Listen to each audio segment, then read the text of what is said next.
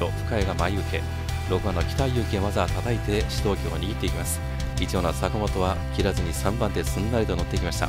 2番の深谷智弘は例によってざっと下げて6番手。